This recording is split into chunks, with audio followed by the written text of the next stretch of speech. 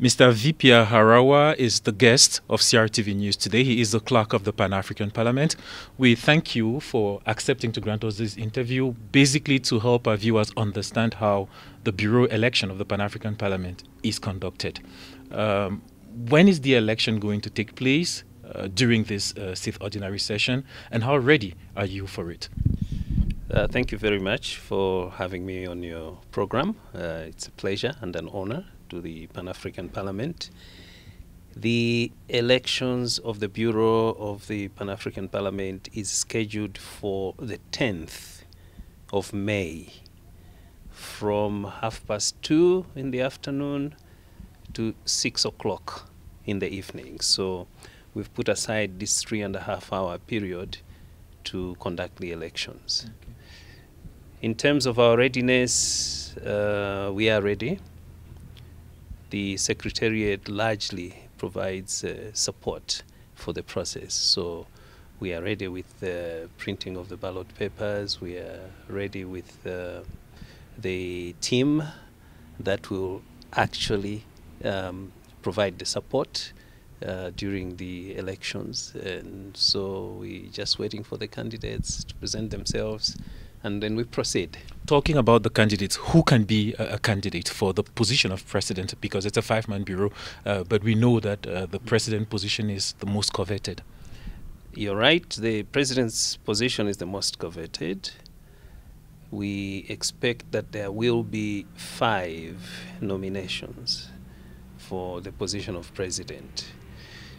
The way that the Pan African Parliament conducts its affairs is that the continent is divided into five regions the north, the south, the west, the center, and the east. And each region is entitled to nominate one candidate for the position of president. For the positions of vice president, again, each region is entitled to nominate two candidates. And one of the two um, must be um, at least one of the two must be female. Oh, okay. Yes, so you can have two females, or you can have a male and a female. How is the voting conducted? Is there a difference between uh, who supervises the election of the president and who supervises the election of the vice presidents? The voting is by secret ballot. Our statutes provide that the election of the president is presided over by an ad hoc committee. The ad hoc committee is a five member committee, usually um, one member from each region of the five geographical regions that I, I alluded to earlier. And this ad hoc committee chooses a chairperson or president. And it is this chairperson who presides over the election of president.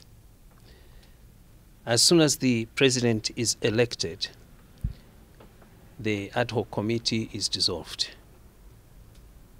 Then the president takes the seat and presides over the election of the vice presidents.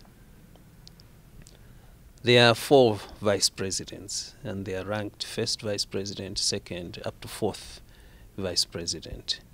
And the way you determine who is going to be first vice president or second or third or fourth is according to the number of votes that one has uh, accumulated. Okay, so the highest? The highest is the first. Is the first. Okay. Uh, finally, the issue of rotation has been uh, an issue of discord uh, building up to this election. Uh, how has it been settled? Yes, the issue of rotation uh, creates a lot of uh, discord and dissent.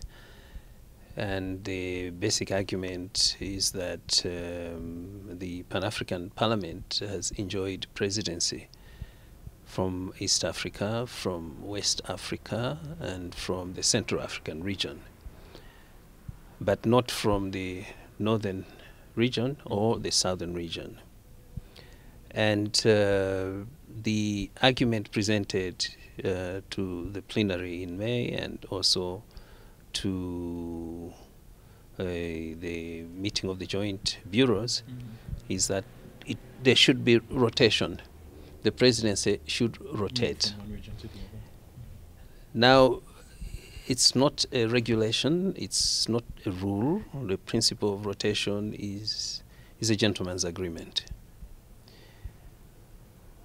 It does not stop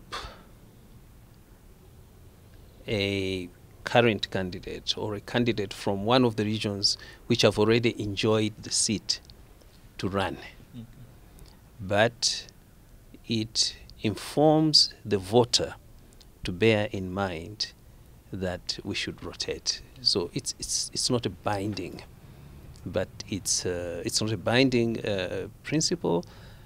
Um, I dare say it may not even be a norm, but it is something that puts on alert the voter to bear in mind that uh, they're going to elect and to give a chance to um, other regions to attend the presidency.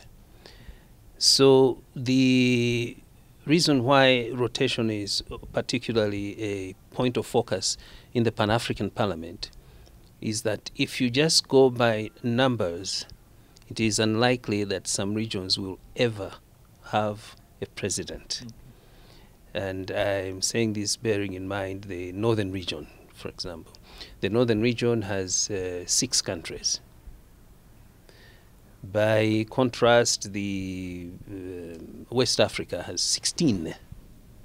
So if you, it's just a question of how many countries and how many delegates there are in a region, uh, North Africa will never, ever